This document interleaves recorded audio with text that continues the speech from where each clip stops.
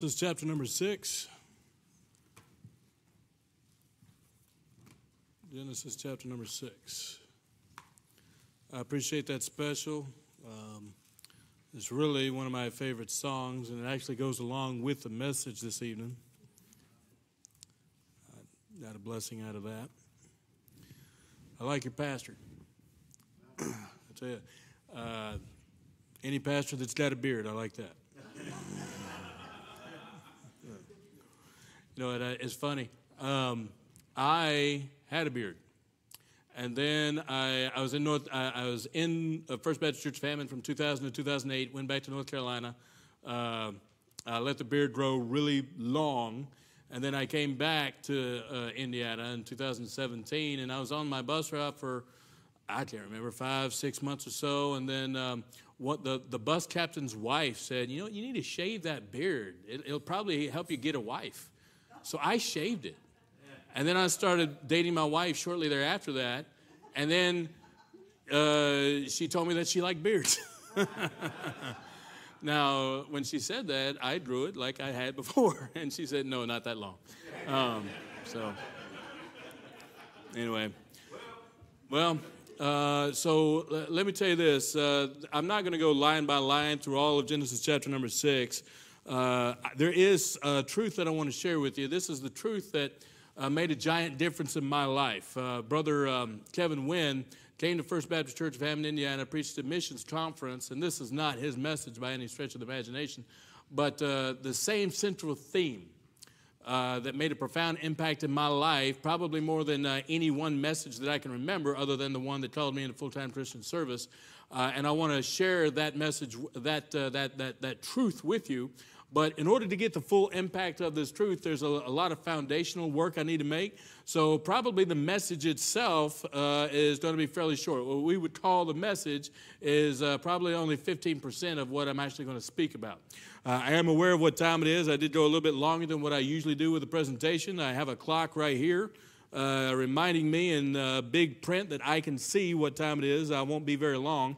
But uh, Genesis chapter number six, I'll start reading in verse number one after I have a, a word of prayer.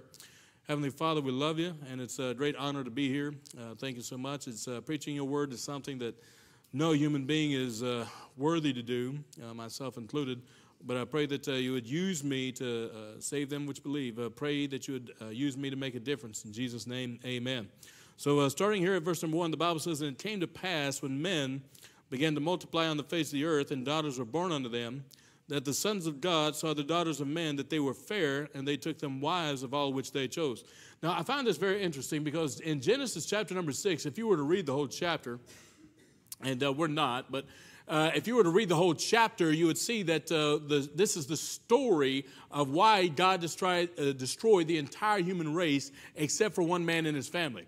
And uh, it looks like God could have saved a little bit of time and just told us what he did. He said, I, just, I destroyed the entire human race except for one man and his family, but he doesn't do that here. Uh, the central theme of the entire Bible is that God wants to have a relationship with you, you personally, okay? So, uh, as a part of that, he doesn't just always go through the Bible and say, I did this, I did this, I did this. He gives us the context of why he did what he did.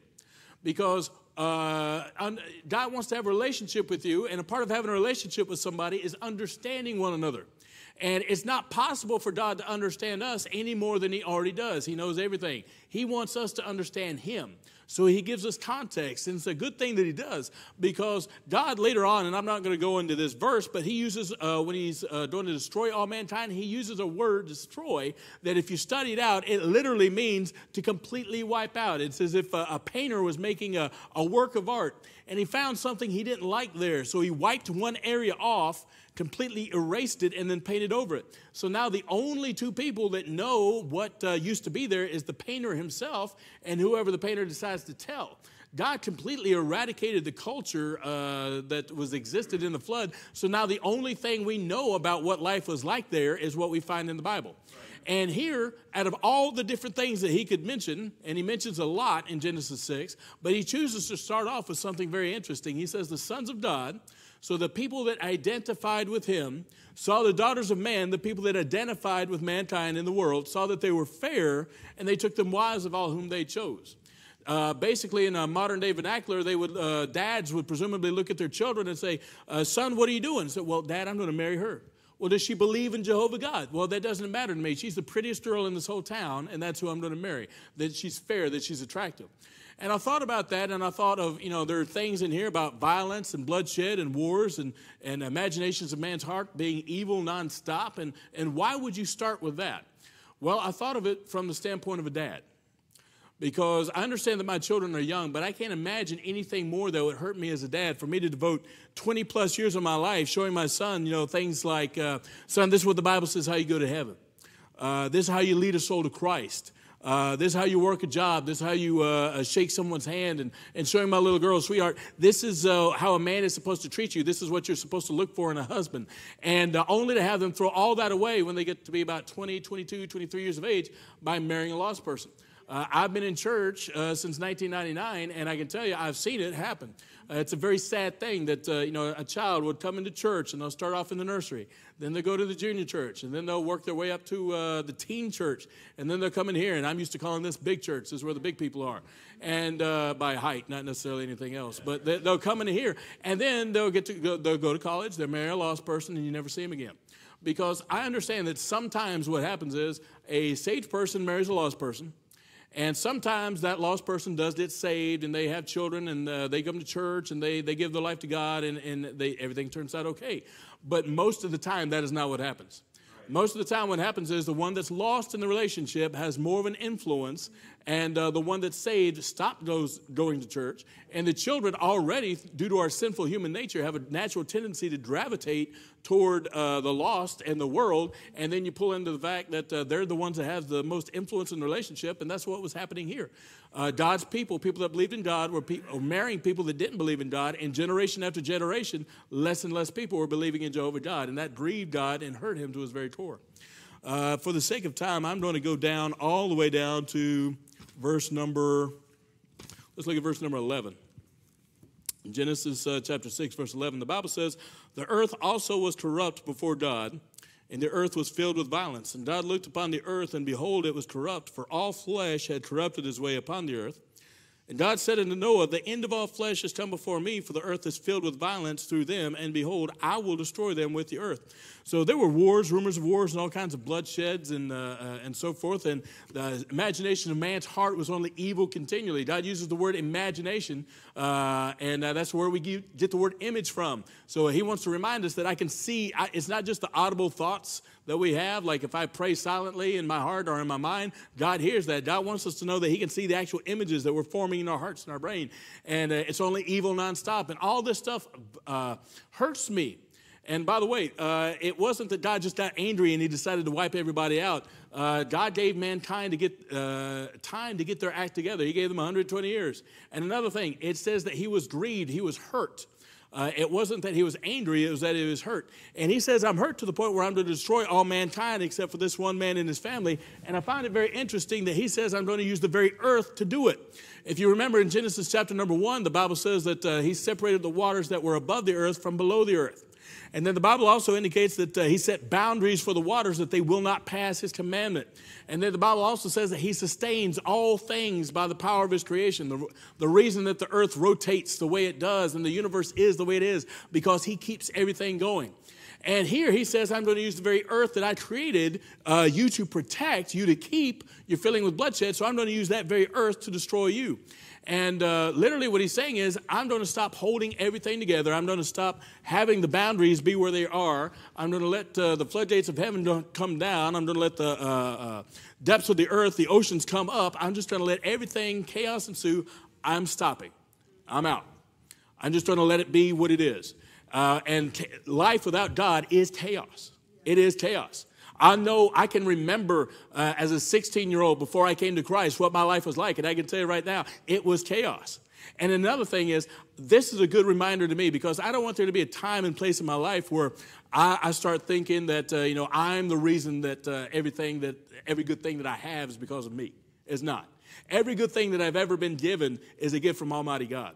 Uh, I don't want God to look down at me and say, okay, Jeremy, you think that uh, you think that the reason you're at 63% after only 13 and a half months is because you're doing something special. Uh, you think that uh, your wife uh, is a, an excellent driver and she's the reason that you haven't been in more car accidents that you've been in, and you think that your health is because y'all are making these healthy decisions. You're not giving me any of the glory or honor or anything. Uh, let me just show you what it's like when I'm not holding all these different things at bay. And I don't want there to be a time and place in my life where God has to do that to get my attention. But uh, here I find an interesting contrast in Genesis chapter 9, verse 11. Let's look at uh, Genesis 9 11. The Bible says here, And I will establish my covenant with you, neither shall all flesh be cut off any more by the waters of a flood. Neither shall there any more be a flood to destroy the earth. And God said, This is the token of the covenant which I make between me and you and every living creature that is with you for perpetual generations. I do set my bow in the cloud, and it shall be for a token of a covenant between me and the earth. And it shall come to pass when I bring a cloud over the earth that the bow shall be seen in the cloud, and I will remember my covenant which is between me and you and every living creature of all flesh and the waters uh, shall no more become a flood to destroy all flesh. Now, here in Genesis chapter number six, God says, I'm going to destroy all mankind except for this one man and his family. And just about two and a half, three chapters later, he says, I'm never going to do this again. And it's so important to me that I never do this again that I'm going to create rainbows. And he says specifically as a reminder to me. How many of you understand that God does not need a reminder? Okay? He doesn't. Uh, he, but he says, This is very important to me that I never do this again. So let me ask you this what changed? How did we get from Genesis 6 to Genesis 9? Uh, what changed in God's heart? The Bible says, I am the Lord, I change not. And what he means by that, uh, among other things, is that uh, it, you're not going to be able to change his mind about stuff. So, in other words, uh, it's not like uh, uh, sin has been around for so long, and, and maybe God felt one way 6,000 years ago, but now these, there's certain sins he doesn't care about anymore. you can lie and it doesn't bother him. You can steal and it doesn't bother him. No, no, no. He still feels the same way about sin now as he did then, and uh, he's always going to feel the same way about sin. But here, something changed in how God viewed mankind. Something pleased him, and it pleased him to the point where he looked at mankind a little differently, and he says, I'm never going to destroy the earth again, not with water. Now, if there was something that uh, pleased God to that point, I would like to know what it is, because if you study Genesis 6, it'll remind you of the world today. The same things happen today. God's people marry lost people. Uh, the imagination of man's heart is evil from his youth. There's uh, men every now and people trying to make a name for themselves and, and all kinds of violence and bloodshed and wars. You know, in America, we can turn on the news or uh, look at the, the top stories on the internet, and it'll tell you some of the wars. It'll tell you about uh, the war that's going on in uh, Israel. It'll tell you about the war that's going on in, in Russia and uh, Ukraine. But there's all bits of violence and bloodshed throughout the entire world that you don't really hear that much about. And we're living in the days of Noah. So if something pleased God back then, uh, based upon how the world was back then, the same thing would please God now. And if I, if I knew what it was, I'd love to see if there is possible for me to do the same thing that would please the Lord. And the wonderful thing is that the Bible tells us exactly what it was. Let's look at uh, Genesis chapter 8, verse 20. Genesis chapter 8, verse 20, the Bible says, And Noah builded an altar unto the Lord, and took of every clean beast, of every clean fowl, and offered burnt offerings on the altar. And the Lord smelled a sweet savor, and the Lord said in his heart, I will not again curse the ground any more for man's sake. For the imagination of man's heart is evil from his youth. Neither will I again smite anymore every living thing as I have done. Now, uh, God said, I knew that man, I know mankind did not get his act together. I know that mankind did not learn his lesson, that uh, they're only evil from their youth. They're going to go back to the way they were. You know what would happen if today God destroyed every single human being off the face of the planet except for one man and his family? Uh, we'd go back the exact same way that we were because we have a sinful human flesh. But God said, Noah, because of what you did, even though you, mankind didn't get his act together, because of what you did, it pleased me to the point where I'm never going to do this again. Now, uh, that was all that foundational. I got three very quick New Testament applications that we can make to our lives today, and they all three of these made a giant impact in my life. Uh, first, let's look at uh, Philippians chapter number four. Philippians chapter number four. The first thing is what Noah did here, it pleased God. It pleased God. And if you look at Philippians chapter 4, verse 15, the Bible says, Now you Philippians know also that in the beginning of the gospel, when I departed from Macedonia, no church communicated with me as concerning giving and receiving, but ye only. For even in Thessalonica ye sent once and again unto my necessity, not because I desire a gift, but I desire fruit that may abound to your account. Watch this in verse 18. But I have all and abound, I am full having received of Epaphroditus the things which were sent from you, an odor of a sweet smell, a sacrifice acceptable, well pleasing to God. God uses the exact same terminology here, and I don't for a moment think it's a coincidence. In Philippians 4, what was happening is there was one specific church that took up an offering so that uh, a missionary could go to another country and give out the gospel.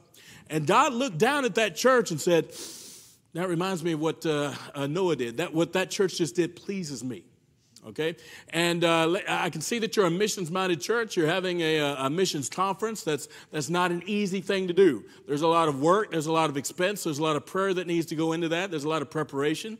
Uh, and uh, I, some churches, they just don't want to have all the work. But I'm telling you, I'm very grateful for the fact that y'all are a missions minded church and you're having a missions conference. But um, uh, I, if anything else, I want to encourage you to keep it up and have it a heart for missions. Amen. Because when you, just like that in Philippians chapter 4, the same thing applies to you. The same thing applies as it did in uh, Noah's day. When you obey the Lord by returning 10% of everything that God's blessed you with, the first 10% of everything God's blessed you with, you return, you pay as a tithe. But on top of that, when you put a little bit more or a lot more in the offering plate so that uh, for the cause of Christ through mission, so missionaries can go around the world and present the gospel, God looks down at this church and goes, What that church just did pleases me and not just a whole church, you specifically, when you do that, God looks down at you in your life and says, What they just did pleases me. And in a world that stinks with sin, left and right, in a world that stinks with sin, if this is something that I could do, though, please God, uh, I, I, can't think of any reason that I wouldn't want to do it just out of sheer, sheer gratitude for Him, even if there was no reward for it. But the wonderful thing is, is that not only do we get to please God by doing this, but we get rewarded for it as well.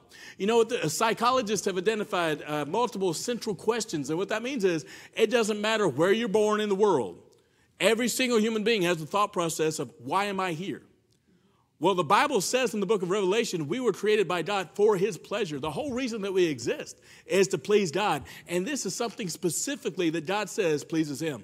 Uh, secondly, let's look at uh, 2 Corinthians chapter number 8. 2 Corinthians chapter number 8. The second thing is, is that uh, as far as we know, this was not commanded. Uh, uh, God was very specific about everything. He said to Noah, I want you to build an ark. I want it uh, to be made to these exact dimensions.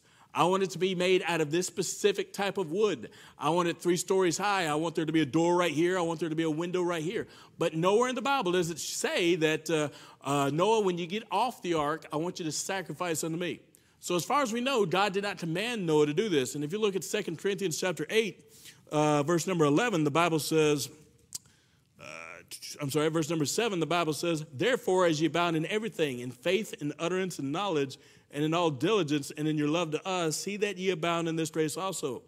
I speak not by commandment, but by occasion of the forwardness of others, and to prove the sincerity of your love. Now, listen, if you wanted to show God that you love them, you could say, well, you know what? Uh, I read my Bible, I, I, pray, I go to church, I, uh, I go soul winning. But you know what? All of those things are commandments. And uh, the Bible says, So likewise, when ye shall have done all those things which were commanded you, say we are unprofitable servants. We have done that which is our duty to do. But what I'm really glad about is that God specifically, specifically says that there's something that we could do to show him how much we love him. The Bible says to prove the sincerity of your love. And uh, you're probably familiar with Romans 5 8. The Bible says, But God commendeth his love toward us, and that while we were yet sinners, Christ died for us. That word commendeth is a word that means showed or proved. So, literally, what God is saying is, I showed you and I proved to you how much I loved you by what I gave. And I'm allowing you the same opportunity to show me how much you love me by what you give. And if you stop and think about what God gave, God gave what was most precious to him. The Bible says, For God so loved the world that he gave his only begotten Son, that whosoever believeth in him should not perish but have everlasting life. God gave what was most precious to him. So that tells us right, right off the bat that God loves us very, very much. And today he's asking, like, how much do you love me? Uh, lastly, let's look at, uh, I want you to stay in uh, 2 Corinthians chapter 8. I'm going to read uh, Genesis uh, 9 1. The last thing is, this benefited Noah when he did it. Uh, Genesis 9 1 says, And God blessed Noah and his sons and said unto them, Be fruitful and multiply and replenish the earth. And if you look at 2 Corinthians chapter 8, verse 10, the Bible says, And herein I give my advice, for this is expedient for you. Who have begun before not only to do, but also to be forward a year ago. You know what that word expedient is a word that means advantageous or profitable. God said this is profitable for you. Now, when you give to the Lord, because that's what you're doing, you give to the Lord by giving to missions. And when you give to the Lord by giving to missions, uh, yes, that country over there that, uh, that uh, gets another missionary, that country benefits. Uh, I believe you are supporting some in uh, Ukraine and so forth. And yes, Ukraine benefits because they get another gospel preaching missionary. But you know what? The Bible says you benefit. This is advantageous for you. Now, I don't have time to get into uh, the different things that happened in my life when I started giving aggressively to missions. But uh, there's been a relationship with the Lord that I, have never experienced prior, wisdom and, uh, and so forth that I wouldn't change for anything else in the world. I can look at you in the eye right now and without a doubt say that my wife has a better husband because I gave aggressively to missions. I'm not everything I should be. I fail on a consistent basis, but I shudder to think about what I would be like if I did not give to missions at all. And uh, uh, my, my children have a better uh, daddy because I gave aggressively to missions. And if you think about it, uh, people will say all kinds of things. I've had people tell me, I'm not really worried about rewards in heaven. All I'm worried about is getting there. I'd rather be a doorkeeper in the house of my Lord than to, yeah, I understand the concept because going to heaven certainly beats the alternative, all right? But what did Jesus Christ say? Jesus Christ is God. He lives in heaven. And he said, lay up for yourselves treasures in heaven. What is he saying? He's saying, this is my home. I know what it's like up here. Trust me, when you get up here, you're going to want to have rewards. Uh, would you bow your heads and you close your eyes, please? I have a, a few closing thoughts that I'd like to, to share with you. You know, there's a, a missionary by the name of Jim Elliot, and um, he uh, is famous for a statement that he made. And really, uh, missionary Jim Elliot, his statements were used to the Lord to finally confirm to me that it was God's timing for us to go to the mission field. And he said, He is no fool who gives what he cannot keep to gain what he cannot lose. Now think about that. He is no fool who gives what he cannot keep to gain what he cannot lose. And uh, if you think about that, that's a biblical concept. You know, what did Jesus say? Jesus said, uh, if you, if you uh, earned a reward, you know, up in heaven, that's not going to rust away. That's not going to go bad. Nobody's going to steal it. Anything that you've earned, you get to keep. You know, the Bible says, but as the days of Noah were, so shall also the coming of the Son of Man be. You know, Jesus Christ could come back at any time. And when he does, all of us, we're all going to say either I'm glad I did or I wish I had. You know, when I'm uh, out soul winning, and uh, I meet somebody, and uh, I, I, go throughout the whole plan of the salvation and the gospel, and, and they tell me, Well, I believe what you're saying, I just, I'm not ready to accept Christ. I want to wait until I'm 30. I want to wait until I get out of college. I want to wait until I get out of the military. I'm going to wait until I get married, or, or whatever the case may be. I'll look them in the eye and I'll tell them, You need to accept Jesus Christ because you're not guaranteed tomorrow. And uh, if you die without Jesus Christ, there's nothing to indicate that you have any more opportunities. You're going to go to hell and you're going to be, one day you're going to be bound hand and foot and cast into a lake of fire forever. Well, you know what? There's a similar concept for us. You know, we don't have to worry about going to hell, but uh, you know what? There's nothing in the Bible that indicates that we get more opportunities for rewards after we die. I don't for a moment believe that there's going to be offering plates passed around in heaven. I don't for a moment believe that there's going to be sowing in heaven. The only time that we have to earn eternal rewards, rewards that we will uh, be able to enjoy throughout all eternity, is the time that we have now. And in a world that stinks with sin, if this is something that I could do that would please the Lord and I would get rewarded for it forever, I can't think of any possible reason in the world that I wouldn't want to get in on it. Pastor? Our heads bowed and our eyes closed. It's a sobering, serious, and also happy thought that we have an opportunity to do something that pleases the Lord. And any time that a Christian finds something in the scriptures that identifies something that you can do to please the Lord, why wouldn't you want to do it? Well, because it's going to cost me something. Yeah, but you get to please the Lord. But it's going to be it's going to mean a sacrifice, but you get the opportunity to please the Lord. And isn't pleasing the Lord uh, the most important thing in the Christian life? When it comes right down to it. With our heads bowed and our eyes closed as we stand to our feet and the piano begins to play, if God is speaking to your heart.